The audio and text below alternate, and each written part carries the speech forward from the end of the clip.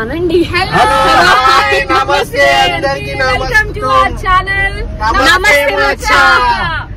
Okay so ఇప్పుడు మా దర్శనం అయిపోయింది. ఏం దర్శనం అయిపోయింది? త్రియంబకేశ్వర లో అయిపోయింది. ఇప్పుడు మేము ముంబై పోతున్నాం మా ప్రీతక్క వాళ్ళ ఇంటికి. మా అమ్మమ్మ చాలా అసలు ఏమైతుందో అర్థం అవ్వట్లేదు as you can see okay site చేస్తుంది స్టార్ట్ అయిపోయినాం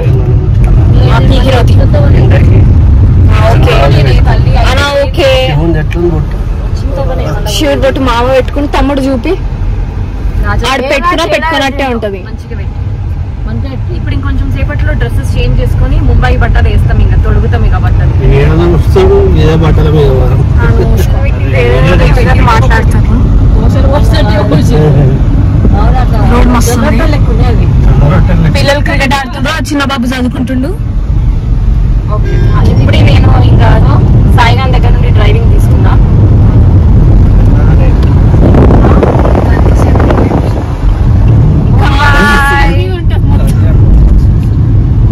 వన్ సిక్స్టీ కిలోమీటర్స్ ఉంది ఇంకా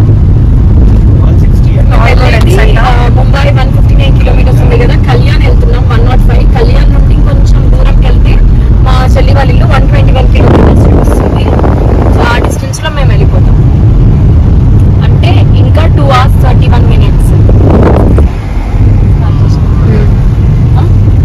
so highlight ఏంటంటే ఇందాకనే వర్షం పడితే బాగుంటుంది అని చెప్పేసి అనుకున్నాము. సడన్గా వర్షం కూడా స్టార్ట్ అయ్యింది. ఇక ఇక్కడ టోల్ గేట్ దగ్గర ఆపినాము. ఇక నల్లీలు కావాలంటే నల్లీలు.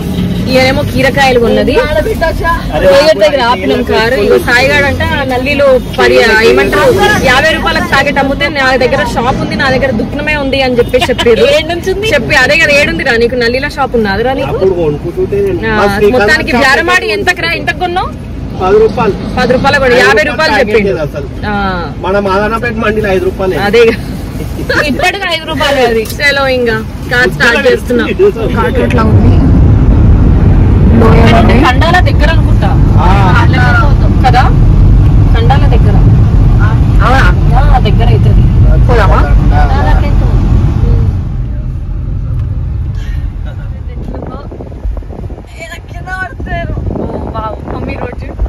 మా ప్రస్తుతం వ్యూ ఇక్కడ మాకు ట్రాఫిక్ ట్రాఫిక్ జామ్ అయినట్టుగా కనిపిస్తుంది.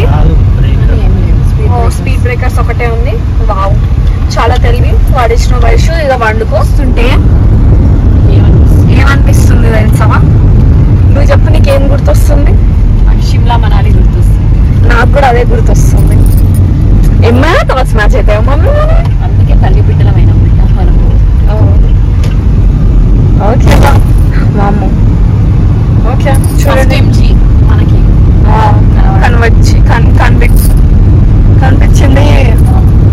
ఇప్పుడే ఫుడ్ తిందామని చెప్పేసి ఆపినాము చెప్పాలంటే. ఇది మోతుకుంటా ఫార్టీ సిక్స్ కిలోమీటర్స్ ఉంది ఫైవ్ ఎయిటీన్ అయింది sorry five eighteen arrival time four అయింది బ్రేక్ఫాస్ట్ లేట్గా చేసినాం కదా అని చెప్పి ఆకలి కాలేదు. ఇప్పుడు లంచ్ తిందామని ఆగినాం. సీట్ బెల్ట్ ఇప్పుడే తీసిన. పక్కా పెట్టుకోవాలి. పెట్టుకున్నాము ఇప్పుడే జస్ట్ తీసిన. కార్ ఆఫ్ చేసేసినాను ఇంకా. ఏం తింటామో చూపిస్తాను ఆగండి. మమ్మీ మోసంబి ఆర్డర్ పెట్టుకుంది. ఇవి వచ్చినాయి. ఫస్ట్ జ్యూస్లు వచ్చినాయి యాక్చువల్లీ మేము ఏమంటారు? ఆ, పరాటాస్ పరాటాస్ కాదు.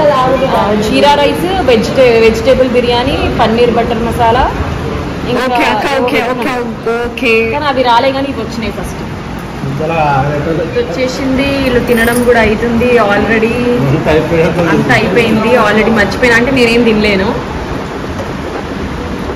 తినేసి ఇంకా బయలుదేరినాం. ఈ రాజవారి ముందు కూర్చున్నాడు.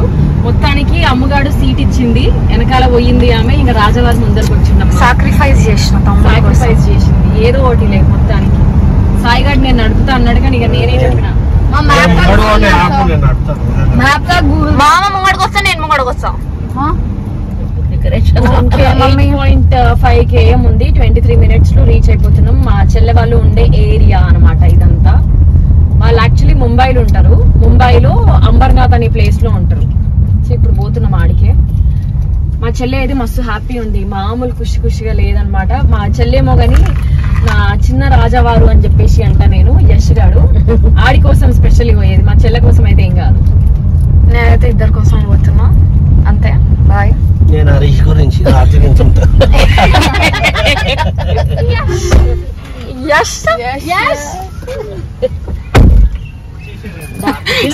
అయిపోయి వదిలేసిండు మనని రాజా యష్ రాజా ఎట్లున్నావు నానా ఒరే ఎట్లున్నావురా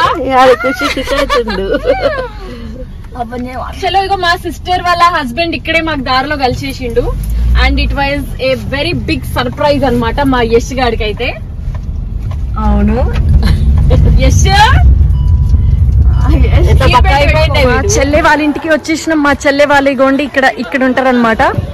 ఒక్క నిమిషం ఇప్పుడు మా చెల్లి ఎక్స్ప్రెషన్స్ చూపిస్తాను మీకు.